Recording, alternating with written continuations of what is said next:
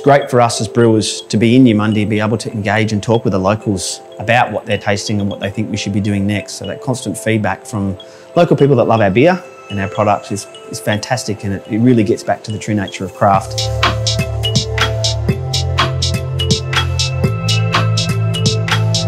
Eumundi has a reputation for creative and quirky and different people who are attracted to move here because of the beautiful scenery and the relaxed vibe.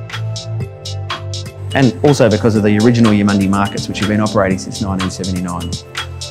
If you have a look around the Imperial Hotel, you'll see all sorts of murals and handcrafted bits and pieces, even the tasting longs are handmade. It really reflects Eumundi and we want our beer to reflect Eumundi as well.